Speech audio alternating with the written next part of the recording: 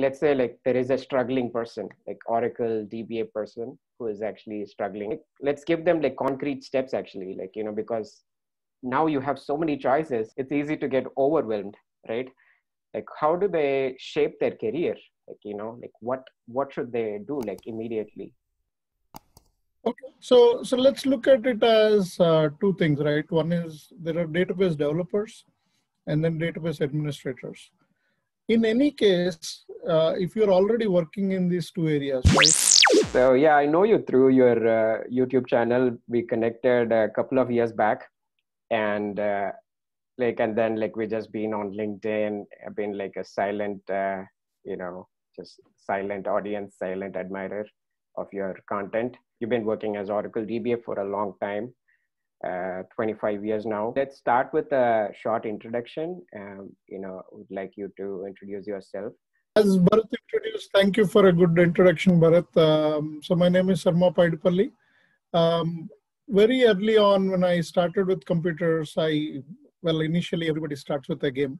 I started with Prince of Persia. That was my first game on PC. Um, but I've been playing video games even before that. So that creativity which I bring from the video game industry to to my real work, uh, you know, I creatively think I take every experience, bring it to the next platform, and try to make it better. Uh, when I started initially, I worked on uh, DBase 3 Plus. Uh, that's how I started with databases. And I think the day one when I was sitting there and they, they said, okay, this is how you manage your data. I can, can I ask which year? um, I, I must have gotten into databases maybe first time in 94 or so. Um, okay. That was only uh, at the education level, not like working level. Okay. Uh, but very early on, I realized that I was born to be a, a data guy. Uh, mm-hmm. So whether it is admin or developer or, or, whatever. At that time, I was not sure what I'm doing, but I just started with DBase 3 Plus, um, and then went into FoxPro for a while. Uh, I worked on FoxPro, Clipper, um, and those things are mostly learning. Uh, it was never at the work or anything. Uh, but even in those stages, like, you know, when I developed projects, they were ready to be deployed in, in production. So they were very production uh, ready quality. Um, Oracle, most likely I saw Oracle first time in 96 or so. And then um, I, at that time, it was very new to me. I, I did not have any feeling or anything. Um, but when I took some courses, uh, some formal learning, um, I fell in love with it. I worked on it. Even today, I, I administer like very large Oracle databases. Um, but you know, like everything in life, uh, there is a progression, there is a change. Um, I saw very early on that uh, databases were good to uh, stay with. And I had a choice to either go into VC++ and programming or um, you know system administration. But system administration was very difficult to get into in those okay. days. I'm talking about 98 99 yeah. Um, then i chose to stay with databases which is oracle mm-hmm. i worked on mysql um, a little bit of db2 not too much i never got into sybase because that was already oracle was already you know way better than sybase in those days already mm. um, but uh, slowly I started seeing the things change, like you know, mobile came into picture, then cloud itself. Uh, all the virtualization in the first 10 years of 2001 uh, to 2010, and then slowly people started moving towards cloud. Um, they did not call it cloud initially. We, we were just uh, looking at it as like, you know, a database as a service or how do you host your services on, on somebody else's hardware uh, which was very new. We did not call it cloud. Yeah. Uh, okay. Um, but when when I say we, I'm mostly referring to the IT uh, field. Uh, in general, we all dat- database administrators, whether they work in one company or the other. Uh, what we saw was the industry itself was changing and going towards cloud and obviously that brings a lot of new technologies uh, you know amazon um, and uh, Netflix, kind of these people who develop their own databases, their own flavors of stuff. Um, I think early 2012 or so, uh, that is when I heard about NoSQL first time. Um, and imagine somebody who has been doing uh, only SQL for like uh, 20 years and the mind blows away and then say, well, what, why, why don't you want to not use SQL? Because that's the best way to query, right? Yeah, yeah. So, but then, you know, we have to realize we have to change. So Yeah. I started looking at uh, NoSQL databases in 2014 or so. And uh, 15 is when I felt um, that, you know, okay, Cassandra is, is a good fit. And I fell in love with it. Mm. Um, so right now I work on only two databases. One is Oracle and related technologies like GoldenGate, Exadata, Mhm. uh, DataGuard. That is all Oracle stuff. Mhm. And then I uh, work on Apache Cassandra. Mhm. And uh, we'll discuss a little bit more Yeah. later on. Yeah. But once we get into that Apache Cassandra, you get into Apache Spark, uh, Scala, and all the other agile platform or DevOps or all these cloud ter- terminologies in place. Mhm. So how? So again, like going back to your uh, the point where you had to choose. You said, like you said, sys administration was difficult to get in. I, funnily, I heard the same feedback from someone. Like, uh, like they would say, "Oh, system administration is kind of complex and it's a little bit hard to get in, but once you get in, you're good for life." That kind of thing. Uh, so Yeah. uh, So, so why it was so difficult? If you want to spend like one or two minutes on that, um, the time I was working on these systems, right, uh, in the early uh, 1997 to 2000, let's say, those three years, um, we did not have Linux, so there was no free version of Unix. Uh, we used to work on something called SCO Unix. I don't think this company exists anymore. It's called Santa Cruz Operations okay. um, very expensive product, uh, which is a Unix product. It is not a flavor of Linux or anything. Um, and it was difficult to get in because of two things, right? One is the systems availability, and then uh, people who knew the subject, um, they were they were very busy. So there was not much of education going on, or it was very difficult to find the right people. Uh, so that is the reason in those days uh, system administration was very difficult. Hmm. Um, but I'm I'm sure all of us have crossed paths with uh, system administration because of the ASM, the Yeah. way Oracle is integrated into the Linux uh, kernel, and uh, we all work on SAN systems, so we know how SAN works and stuff. So without knowing, even though we are all doing database administration, we do a lot of system administration. Yeah i mean it's that's part of the job actually definitely. Uh, one question i want to you know start with this uh, or the second question basically like knowing what you know now right? So you you've been like uh, again you, you've been in the industry for a long time. Knowing what you know now if you had to go back and make a choice again would it would it be database or would it be like a different uh, technology? Um, so definitely database is, is really good. Um, You know, I told you that I love gaming, Mhm. um, but I never had, um, you know, I have creative thinking, but I could never draw. So one thing if I would like to change is I could have become a game developer or something, uh, which is more like graphics and uh, graphics engineer or something like that. Um, but database has been a real good um, place. I've been uh, in the industry for a while. I saw a lot of changes happening. Uh, you know, small software and then becoming choose this large software like Oracle. You know, everybody complains about license costs. But uh, if you actually compare other softwares out there, I think Oracle is best. Uh, so far, it has been a very good software, and um, you know, company-wise, they've been progressing really well.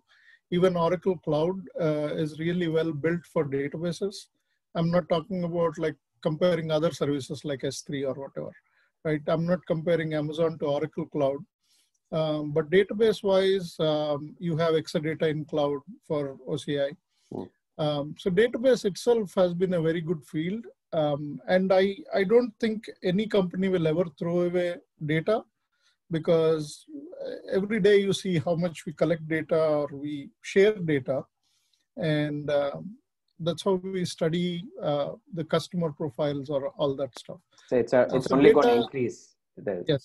it's only going so data analysis is is what is going on today like you know how you learn based on the data uh, what we used to call it as artificial intelligence today came back with a new name called machine learning and to do that you need data Mm. so without data you cannot do machine learning so Yeah. i think data has been a good choice for me. And uh, uh, you know it, it has a long potential because it's not going away So how has your attitude changed? Like day one, let's say, and then 10 years ago, uh, from, you know, 10 years ago and now, how has your attitude changed towards work, uh, towards databases, you know?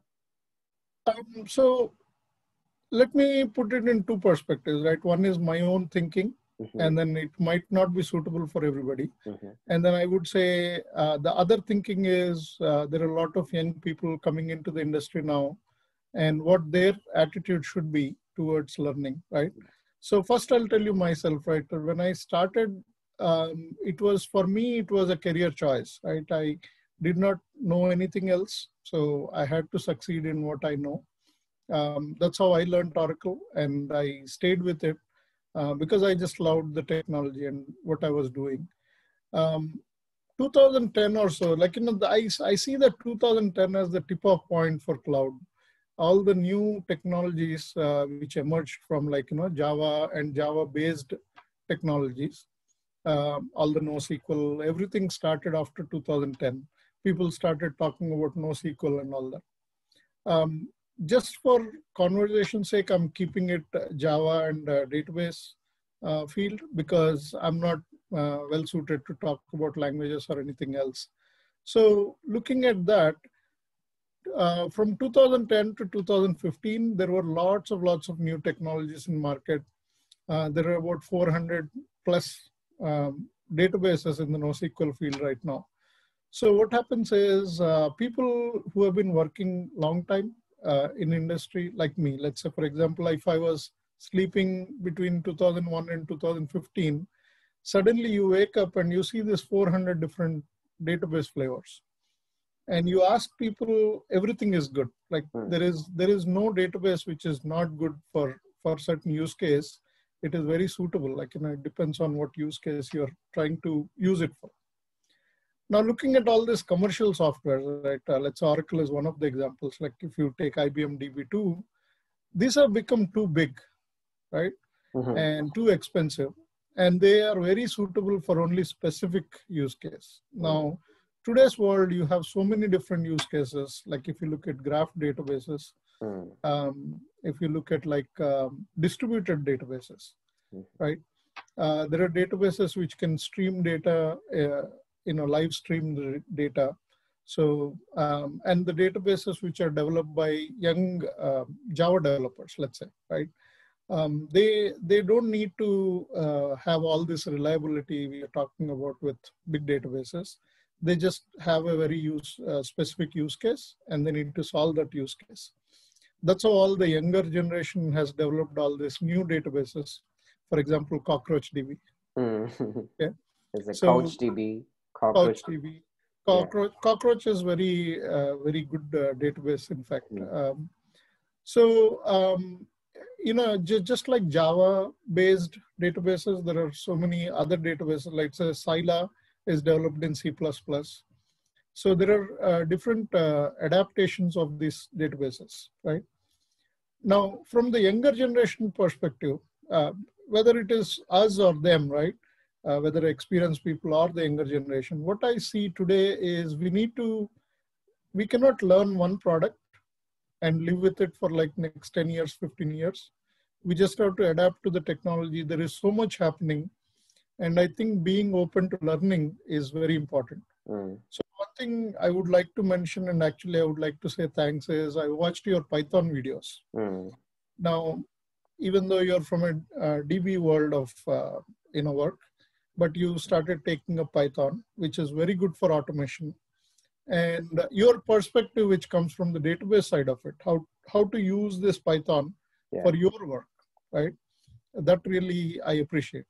Uh, so if somebody did not watch your Python videos, right, I would suggest them looking at them because they're they're very useful today.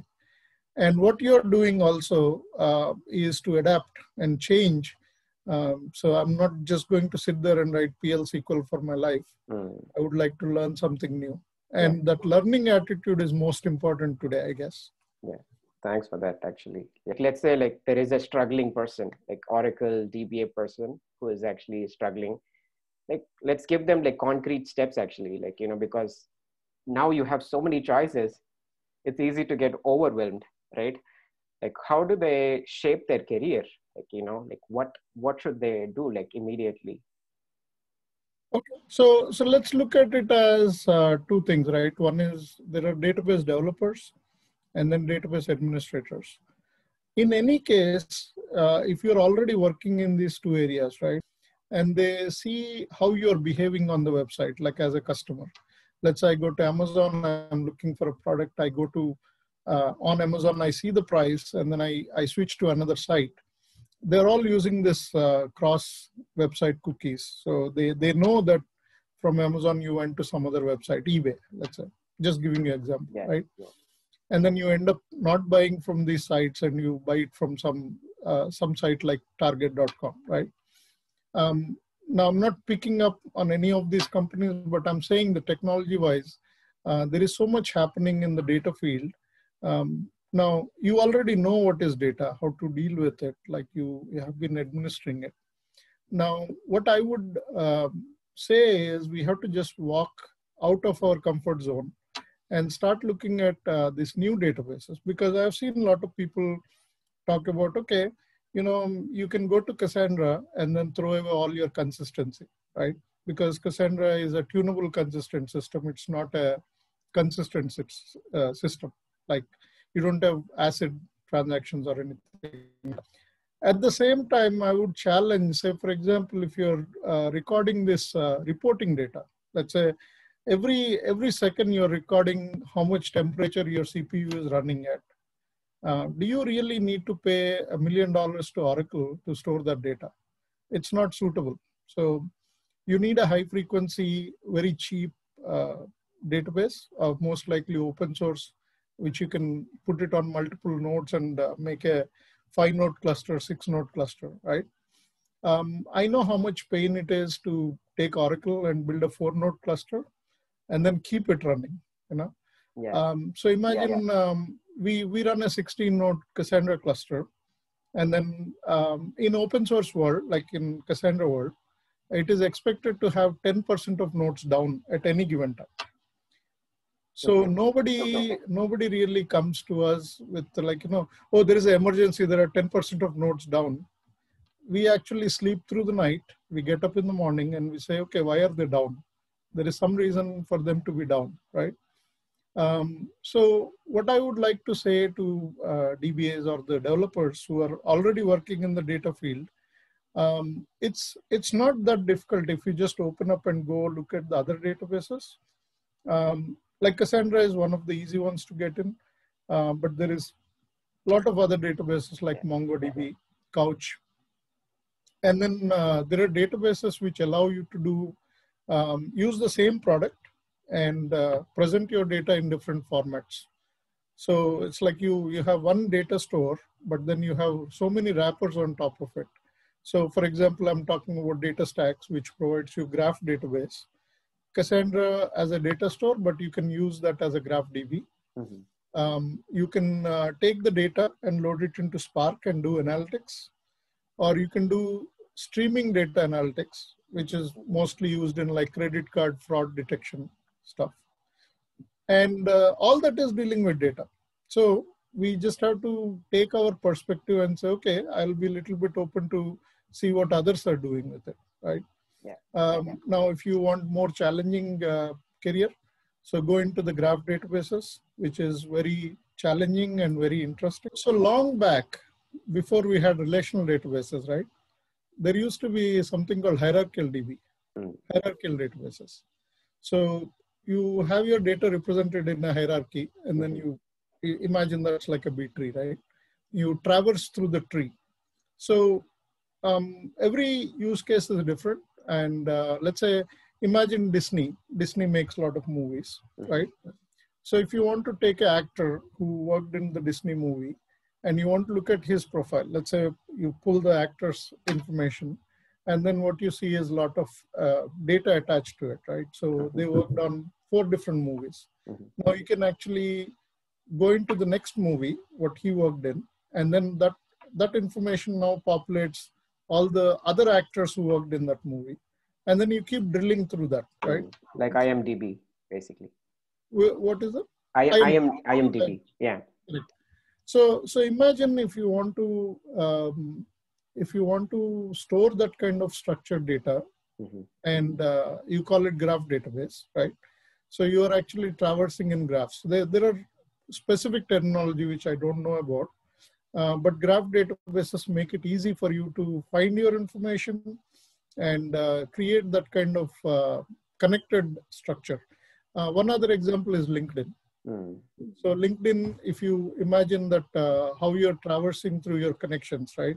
Now you have your connections and those connections have their connections and then you can travel through that tree structure, Mhm. right? Mhm.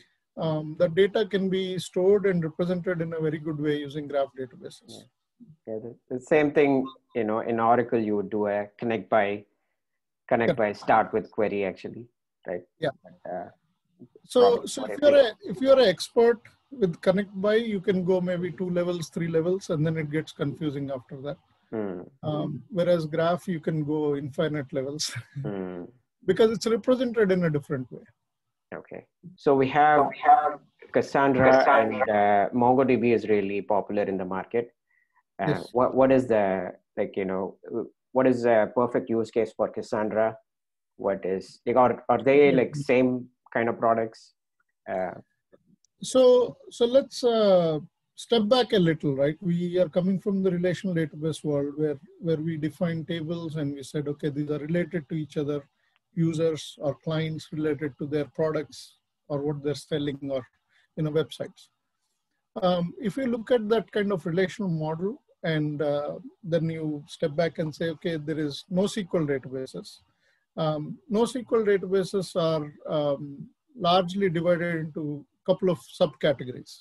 So not every database is suitable for all kinds of use cases. mhm. Um, so if you look at document stores, right, when XML started, uh, they all started to store XML into the database. And Oracle can do this with X, XMLDB, Mhm. right? Um, uh, it has, um, it's called document DB, something, XDB. Mm, Okay, that's Oracle's embedded uh, database for Right. XML. right. And you Then have later- packages to to work with XML as well in Oracle. So, Correct. Correct. So then what happened later on, uh, people started writing, the developers started to store their data or exchange the data in format of JSON, uh, JSON documents. Mhm. So in NoSQL world, they said, okay, why don't we store this JSON object, which we have in, on hand in Java or JavaScript, basically. They, they are, there are a lot of built-in libraries to traverse and use that data. So what they're doing is now they have to store this in the database. They have to do some conversion. So what if the database itself understands JSON and stores the document? So store it away in the same format, retrieve it in the same format they need in the application. And that's where the document stores came into picture. That, that's a database which stores documents. Mhm. Well, MongoDB is the perfect example for that. So if you imagine uh, MongoDB stores JSON documents in its store, and then you will retrieve the document. Obviously, MongoDB is running on a multi-node cluster, so you get reliability for like an availability and um, Yeah. uh, you never lose the data because your document is replicated into multiple places for reliability. Uh, now that is one category where you have document stores, and Yeah. there are a lot of databases in that category. Yeah. Um, two, two things come to my mind actually when when you say MongoDB. I, I took like a MongoDB course when it was new in the market. So Mhm. one is horizontal scaling. The 2nd Mhm. thing is uh, schemaless. Uh, you Yeah. know, keep you know have, having a schemaless collection. Like you know, basically developers for developers that's actually really comfort you know really easy to dump whatever data in the database. Like you don't have to go through this schema modification and then like very careful data population and things like that So true. With Oracle, what happens is we we spend a lot of time defining that structure. You know, uh, the organized way to store, um, and sometimes it becomes very uh, very heavy for the application. You might not need it, right? You need a application which quickly saves the data and retrieves it in whatever your developers need format, right? It's not specific to uh, the storage engine or anything. So that's where uh, Mongo's uh, really shines because MongoDB stores the data in the format what your developers want. Um, and then uh, in, instead of picking MongoDB, right, there are a lot of other databases in that uh, area. Mm. one of them is Couchbase, CouchDB or Couchbase. Um, they're very, very nice databases for the same reason. Um, now, let's take Cassandra because one of the easiest thing for an Oracle DBA to get into Cassandra, uh, why it is easy is because it's a row column store. So we all understand rows and columns. Um, even though it is unstructured or you can have schemaless, uh, but generally speaking, there is a row, there is a column, and we understand that terminology, partition keys or primary keys, things like that. So Cassandra is easier to get in uh, but what I would say is Cassandra is very flexible. One is I have seen uh, clusters which are large, like 20 node clusters to 800 node clusters. And it is possible to have more than 10,000 uh, node clusters. And Netflix runs one of the larger clusters, like Spotify, uh, Netflix, Apple has uh, been running Cassandra for years now. So Netflix, in fact, we know it is documented that 2009 or so, they started using Cassandra. Um, so one of the easier things for Oracle DBA to get into database, NoSQL database, is Cassandra is one of the best uh, fit for that. Um, then you have two more categories. One is a key value pairs. So you store very simple, what is the username, what is the password kind of key value and uh, it is kept mostly in memory, so it is very fast in retrieval. Um, they use it for like session holding, like you know your cookies basically. Let's say, for example, you want to keep that in the application server. Uh, Redis is one example for that. It's a key value store. Mm-hmm. Um, what is the so document store, uh, row column store, key value pair, and then graph databases. So that's the fourth one. Hmm. So we, we talked about graph a little bit, um, and then obviously there are there are lots Cassandra, of these. Sorry, sorry. Yeah. So is Cassandra like uh, is there like a managed Cassandra service available, or like you have to like just like Oracle, you you just get like infrastructure and then you need to do everything yourself? Yeah. So it's a good good question, right? I'll I'll spend a little bit explaining how Cassandra started with the open source so still open source offering is there. You can just go to cassandra.apache.org and download the package and you can have your own hardware uh, in your on-prem or you can run it in EC2s on Amazon or Google Cloud, right? Uh, they support that. Now that doesn't uh, come with any kind of support.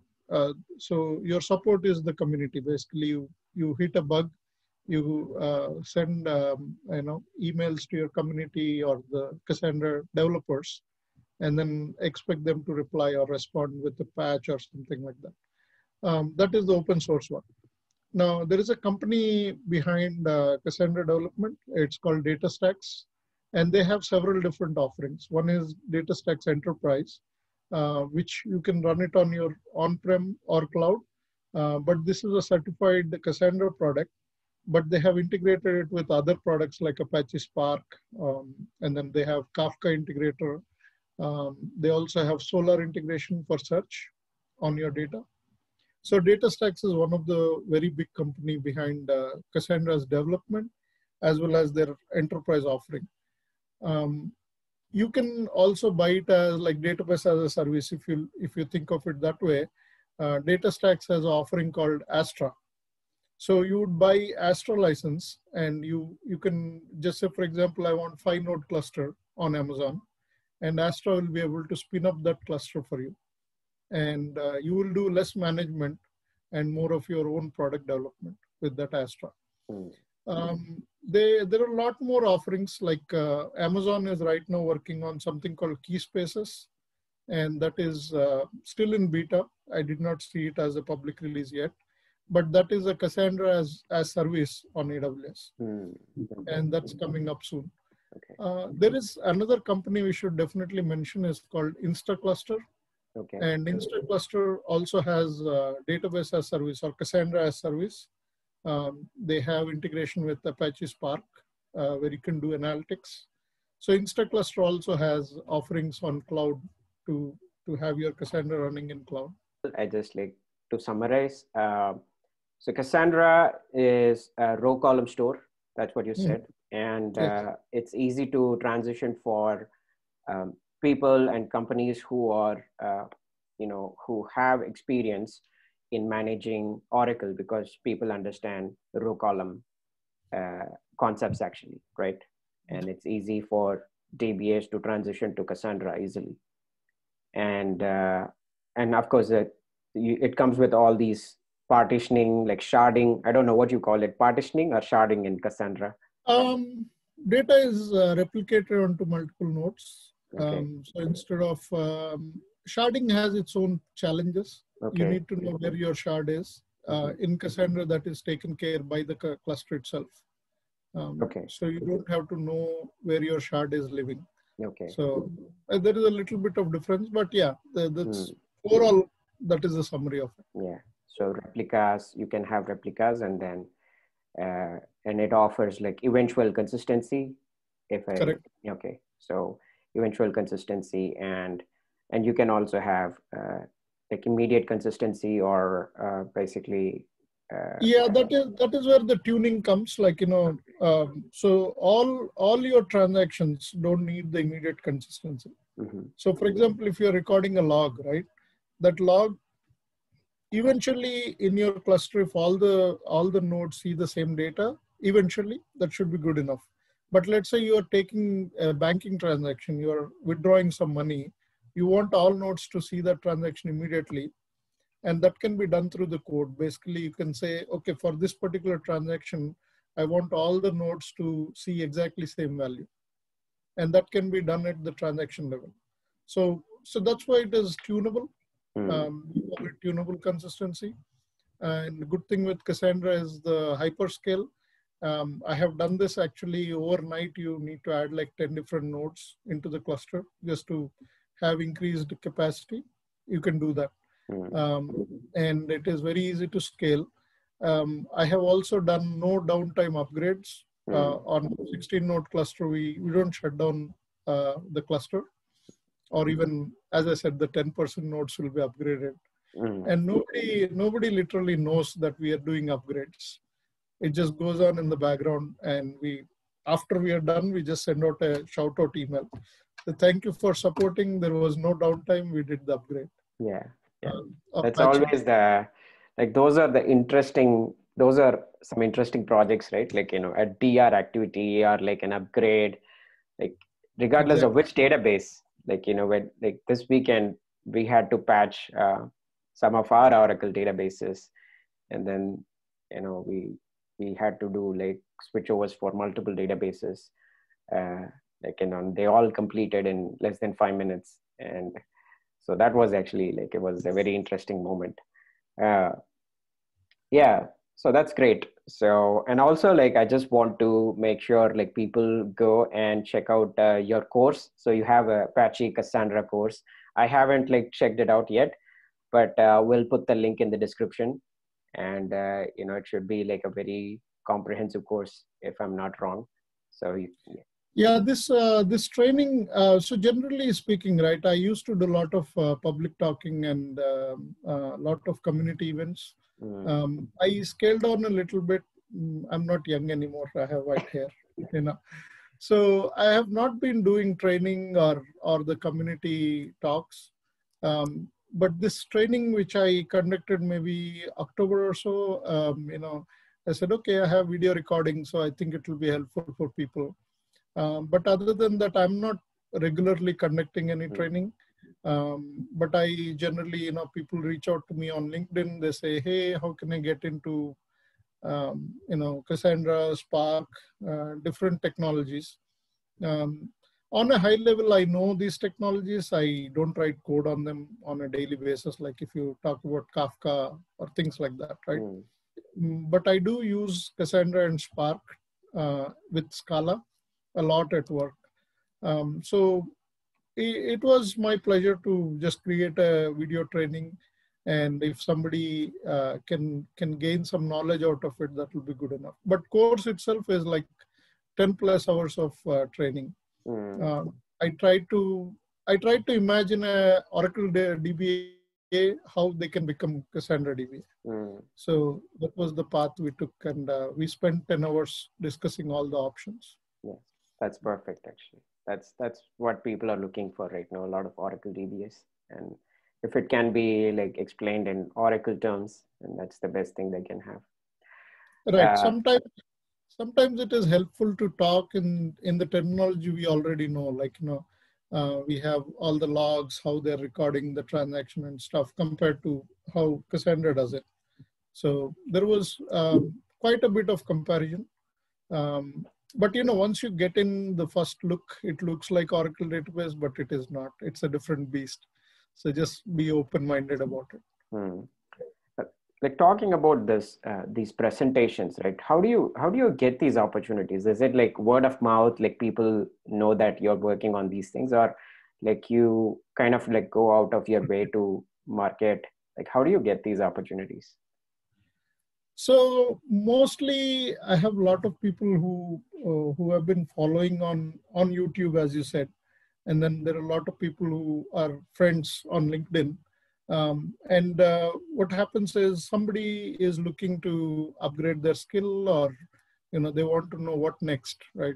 So a lot of people, we only talked about database administrators, but let's say if you look at any of these big data engineers, right? A lot of people want to come from ETL and go into Hadoop. Um, and uh, Hadoop is a very big platform. There are too many products and uh, we are all confused about where to start with it, right? So even though I did not work on Hadoop, I can talk about it. I can say, okay, this is what it is used for or how they use it.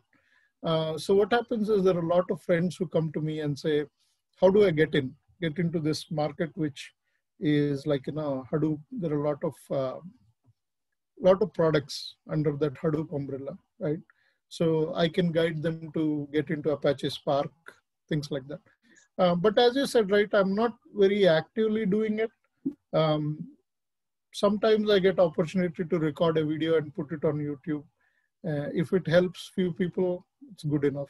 So uh, I, I'm not actively doing it, but mm. you know, people find me doing it somewhere here and there. Mm. That's that's something that I have found, like you know, after starting my YouTube channel, because it's not like one thing that's always like stuck in my mind like before i uh, you know i did any of these things was like i i don't know everything about this thing. Like i don't i'm not an expert. So why should i like be teaching right? So i always get into that mindset. Like even every day it comes up actually. But then but but you should always think about like what you know what, what do you know?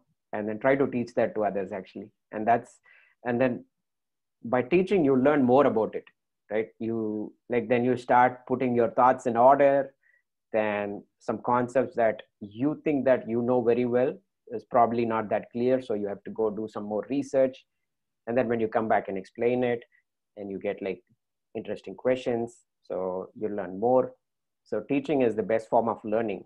So and then and you get like all these uh, exciting opportunities as well right? So to to broaden your network uh, you know so this is good for your career as well. So like i i would encourage everyone to like start like a blog or youtube channel and then just like just write write it down and teach whatever you know. And uh, so so definitely there is there is one thing we have to realize right how software was developed like uh, 20 years ago okay uh, there used to be a company who would pay money to develop their software. So you go inside the closed doors, you write some code for them, uh, like in C, C++, and they sell the product commercially. Things have changed now, right? There are thousands of people contributing to open source projects, And uh, don't get me wrong, open source projects are really, really good. Right Yeah. now, if you just go to apache.org and look at how many projects are free, open sourced, Hmm. uh, you can see how many people are writing code for that. So imagine there is a community out there who is writing code every single day, and we are not talking about thousand people. We're talking about like million Yeah. people writing. the whole Right. world actually yeah Whole world is writing it that way. Um, somebody is publishing new article every few minutes. Now, as a single person, I think I cannot read them, I cannot follow them, I cannot understand them. So I think we should have a community of learners who will go learn and teach to their community. yeah So it should be a community-based learning. It cannot be a single person learning these things, um, and it is impossible to learn these things on on our own. oh yeah You know, uh, all the technologies like uh, Java, Go. Uh, Go is a, a language developed by Google. Uh, there are a lot of products we did not talk about. Let's say, how do we do our monitoring? Hmm. Uh, I'm working extensively on Prometheus Grafana platform uh, to monitor my Cassandra databases. Right now, we don't have it, uh, but we are trying to come up to a working model, and then we can make it open source on a GitHub or something. I'll publish those articles when they're ready. Hmm. Um, but what will happen is if you can have a team of people and say, hey, guys, why don't you go figure out what is this Kubernetes, right? I have been hearing Kubernetes left and right these days. It is it is going to become like 2021's COVID. yeah So everybody will talk about it Hmm. in industry. So, you know, obviously at my level, I don't want to go study what is Kubernetes. So it will be great if we have some people in our team, like friends or very technical and uh, younger generation. So Mm. I can say, hey guys, go figure out what is this Kubernetes and tell me what it is, right? So it's a community learning, what I would think will be the best uh, for today's uh, today's learning path. Mm. Yeah, actually, that's a great point. And like recently, Kubernetes announced like uh, that they're not supporting Dockers. Uh, so that actually that was a big news. Um, yeah, Kubernetes is uh, is used in a lot of companies. Uh, like you know, we that's a whole different world. Kubernetes, Dockers, and like Terraform. That's that's what I'm doing right now. Yeah, one thing is like uh, like this year. So, so why don't you why don't you tell about Terraform a little bit? I I don't know about it, so Yeah. I mean, it will be helpful for everybody to know what is Terraform. Yeah. So you have AWS, everyone's aware of AWS, and you have uh, all these services EC2, DynamoDB, Redshift, and all these services. So you need like, uh, you know, it's eh, people are not doing like mouse clicks to like create their infrastructure. So you need to like automate it in, you know, like you need to create your dev, uh, staging, performance test, all these uh, environments. So so it's not going to scale uh, it's not easy to scale just doing these things manually. So you need like a, an automation software. So you can use like uh, amazon sdks they can you, you can use sdks for python or java and you can uh, you can automate at that level. Uh, Mhm. so you have also have like uh, cloud formation. That is amazon another amazon service which basically helps you to automate things on aws right? So so cloud formation is only it, it only works with aws so terraform can work with basically any any cloud provider. Any you know it can even work with kubernetes. So all you need to do is uh, just uh, install that plugin like for for example aws plugin and you can uh, automate your infrastructure basically. So you can create your EC2 instances. You can change the instance types. You can say, okay, I want this security group.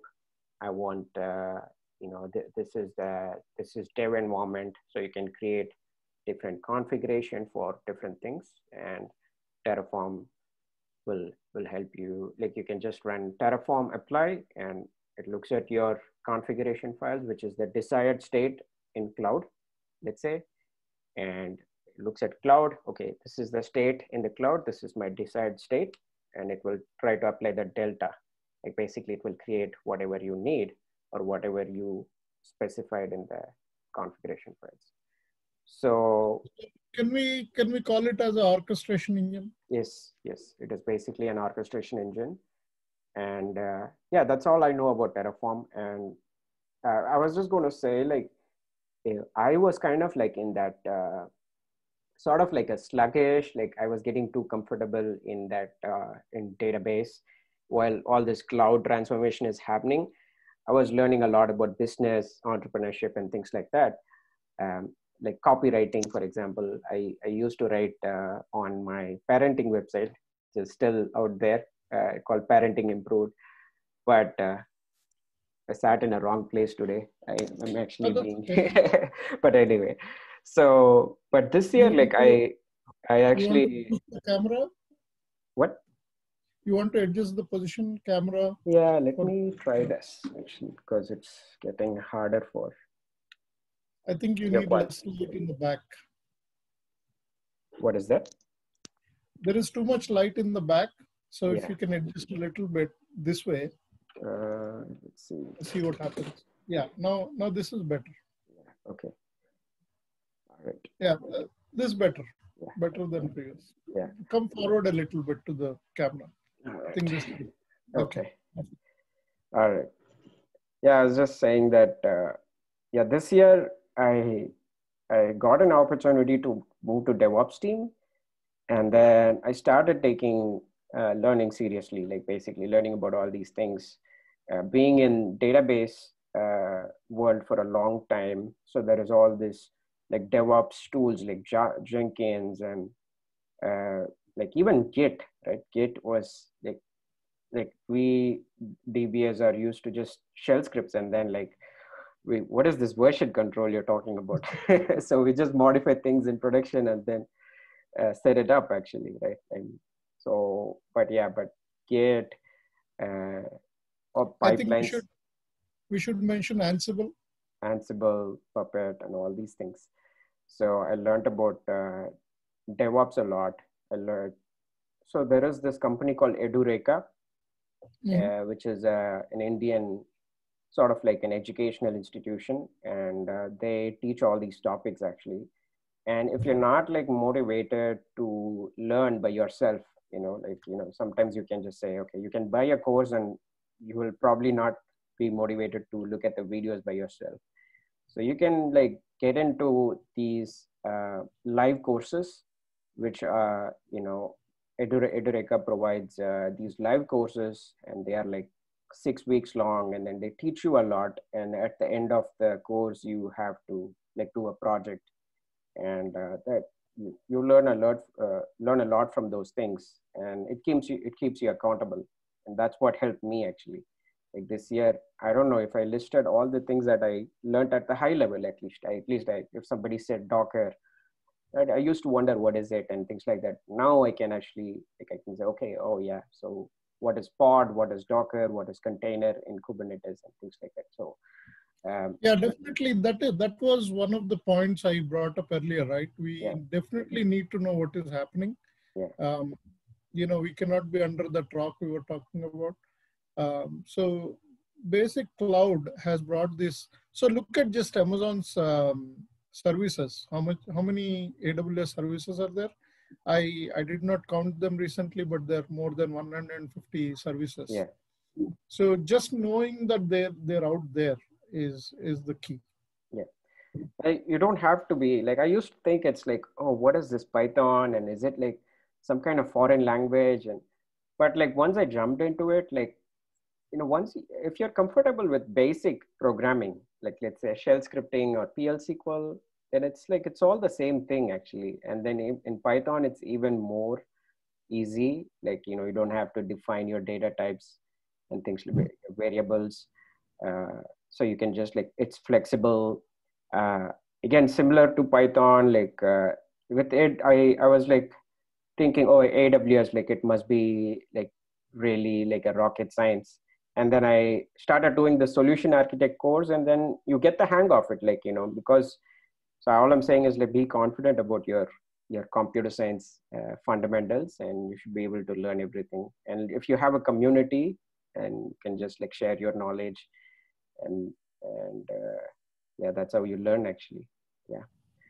But anyway. So we, we talked a little bit about python right? I um, just a quick mention about it. Mm. um, so we write a lot of tools because we're all managing production databases right? Uh, we write our own custom tools like custom scripts. Um, what uh, happens with uh, any database when you're learning something new you create your cluster you have a bunch of tables there but data doesn't get automatically populated so i recently i was looking at python driver. Uh, so there is a python cassandra driver which which you can use to um, code in python and bring that data into cassandra database. So if you go to my github like i'll share my github link. Uh, so there is a python cassandra driver related uh, project. Uh, basically you you create it sub, uh, and uh, set it up and then it generates sales transactions so you can say randomly between 1000 to 2000 transactions uh, whenever you run that code it will generate uh, let's say 1500 transactions. And they look like there was a sale happening at that time. Uh, some random 10000 users will come and buy buy products. So at least you have your data now and then you can do next thing. My next thing to do is uh, I'm going to work on uh, something called uh, Apache Spark for Cassandra. I want to analyze how much sale happened in past one hour, how much sale happened as of today, as of now. Um, so year to month sale or things like that. And then publish those metrics via Grafana. So it's a long journey. Are you, but it- are you using that pig, uh, what is it, pig SQL or uh, there is a, in Spark, uh, there is a, there's a pig, So- pig DB. So the pig, pig comes from the Hadoop world. Okay, okay. Um, so, so what happens is uh, Pig uh, is one of the languages they used in Hadoop. Uh, for Spark, Spark SQL is is there. Okay. So Spark engine itself has a SQL, which is Mhm. the standard SQL. Uh, but you can bring the data from Cassandra or any other data source. You can bring it from MongoDB in JSON format, convert it to Spark format, and then do your uh, structured queries on them and then you create your analytics, um, uh, you know, summarize data, and then push it to anything you want. Like say you can send it to Kafka, or you can then write it back to Cassandra. Um, but that's a bigger topic. Uh, we can Yeah. take that next time. Okay. Yeah, I've, we've been talking for uh, an hour actually. So, um, so thanks for actually your time. Uh, so, just one last question, and then we'll end the interview. So, who has been your inspiration, like in the database world? Like, uh, do you follow anyone, or like uh, I know, like you're into gaming and you're uh, you yourself, like you- So, yeah. Um, so Larry Ellison, obviously. Okay. um, I I used to read. Um, I I still try to find time to read uh, articles written by Tom Kyte. Hmm. uh, Ask Tom, basically. Uh, so that's from the Oracle world. Um, I follow very closely a person from DataStax. Uh, his name is Matt, Patrick McFadin, Mhm. and uh, he's a very good friend. Uh, so I uh, almost watch every single video he makes. He's he's on every single DataStax workshops. Uh, he talks a lot of Cassandra. So and then coming to gaming, I am addict to PlayStation gaming. So I've been playing uh, video games since 1987, long back. So I, I went from Atari 2600 to PC to PlayStation 1, 2, 3, 4, 4 Pro. Uh, I haven't got chance to buy 5 yet. Uh, it's not available. I've been trying to get hands on one of them. Uh, in fact, Hmm. just today I went to my friend's place and I saw their they got a PlayStation 5 from Costco. Very difficult to find one. Hmm. Uh, right now, I'm playing uh, Last of Us 2, which is only for PlayStation exclusive. Uh, very good game. Uh, yeah. So, inspiration wise, there are a lot of people from different angles. So, Okay. thank you for asking that. cool yeah again thanks for your time i i my son is like he's he's just starting with all these iphone app games uh the other day someone was mentioning playstation. He was like what is playstation? Like okay I'm, and i'm gonna like keep you in the in the dark for some time actually. He's only five years and he's already got enough games going on. And sometimes he talks about it on and on and on. And uh, yeah it was great chatting with you actually. Uh, you know i think you mentioned so many things um, people should be taking notes. And then all the resources that you mentioned i, I i'll try to actually uh, I'll, I'll get in touch with you after the call and then we'll put that in the in the description. And thank you so much. Yeah definitely we we will share all the links from both my websites or whatever youtube channels we talked about. Yeah. you should uh, also provide your links like the uh, youtube channel you have. Uh, you're doing a great work on python and other technologies. You're talking about the recent technologies um, actually you have been going uh, on the various paths at the same time so that really helps a lot of people. Yeah. Um, i focus a little bit only on specific areas of work.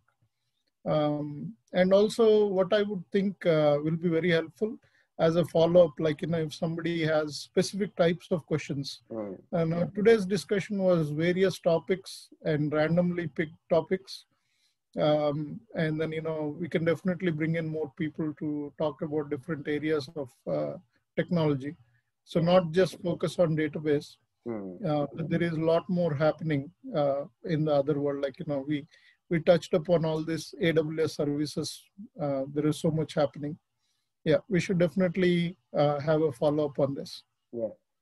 Yeah what i would think uh, what i think would be very useful at least to me like you know because it's it's not easy like you said it's not easy to go read like this website and that website that blog and like this is so many white papers coming.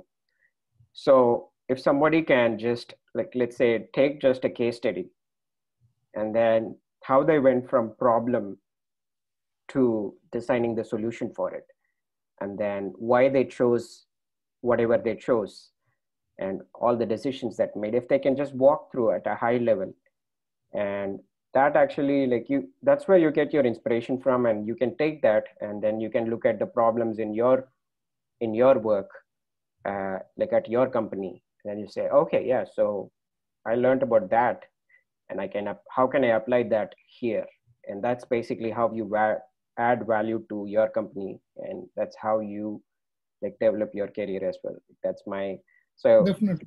so if that kind of structure if we can bring that like into like let's say like a, a brain trust or a mastermind and like people can present whatever they know and that will be amazing actually. We should have like a conference kind of thing. Like i'll bring all the folks and you can bring your your folks and that'll be that's that's that's all in my vision actually. That's all in my vision.